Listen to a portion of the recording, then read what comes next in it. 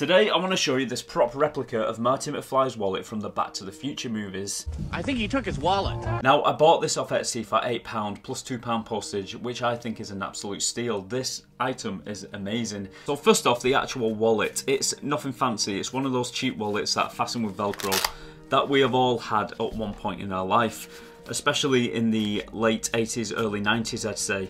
But there is actually a scene in the movie where Marty takes his wallet out of his pocket and you can see it is actually quite similar to this one. It's red with the uh, black trimming around the edges. So I thought that was quite cool. And the first thing you will notice when we open it up is it's got Marty McFly's driving license right there and it's got Michael J. Fox's picture here and all these details which I think is quite cool.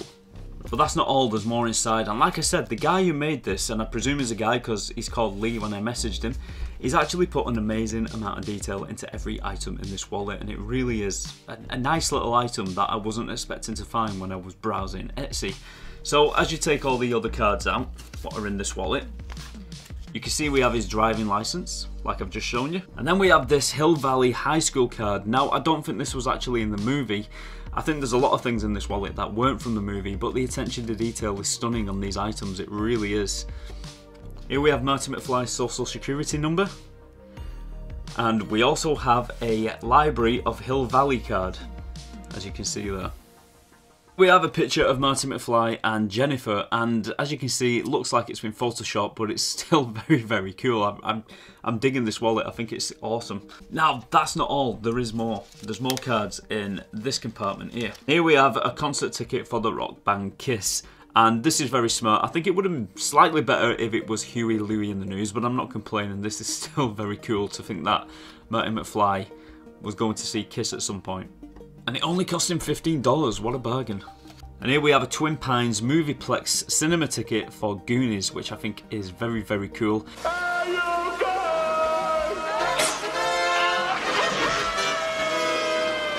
And another thing I'll add, these cards are all laminated, so you can't actually damage them by taking them in and out of the wallet.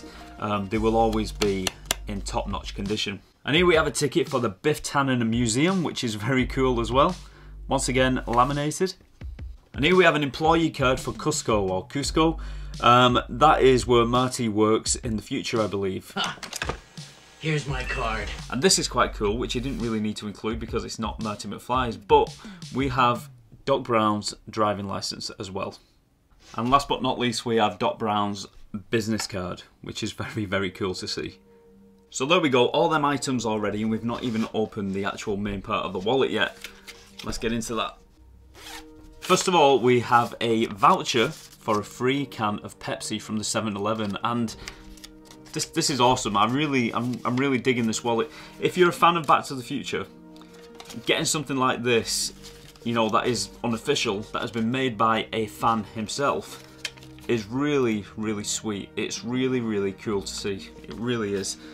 Next, we have a, a tidy slip, which I presume is like a detention slip from um, Strickland to Marty McFly for being the slacker. Slacker.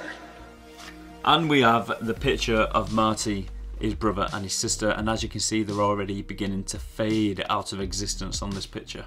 And this is actually printed on actual photo paper, so it is an actual photograph. And here we have an actual poster of the Battle of the Bands audition that Marty actually attends in the beginning of the movie.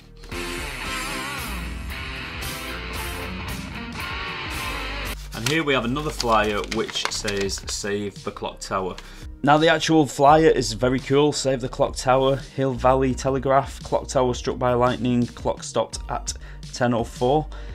This is very cool, but the actual write-up is just gobbledygook. It's just um, copy and pasted some kind of, I don't know, some kind of editorial of something else and copy and pasted, copy and pasted, copy and pasted. So it is gobbledygook, it doesn't read, it doesn't make sense at all, but you're not going to be looking at that if you've got it far away in a frame or something like that. You're going to be looking at the headline and what it is. So that is quite cool. I like that.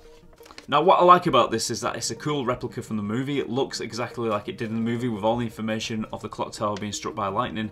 But if you remember, just before Jennifer leaves, she takes this flyer and writes something on the back of it for Marty. She writes I love you and a telephone number. And if you turn this round, it's actually got it jotted there on the paper as well. Then I think this is my favourite thing in the whole wallet.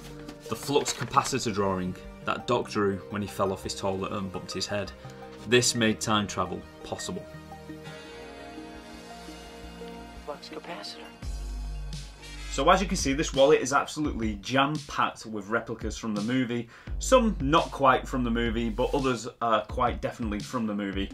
And I must say, for £10, you really are getting your money's worth when you consider the amount of work that this guy went to to make all this.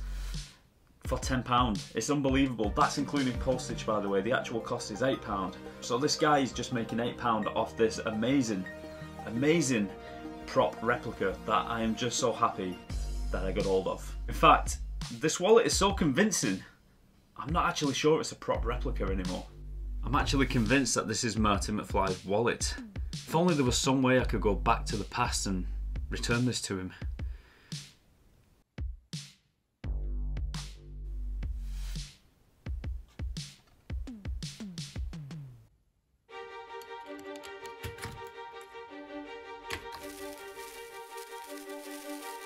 Okay, time circuit's on. Flux capacitor fluxing.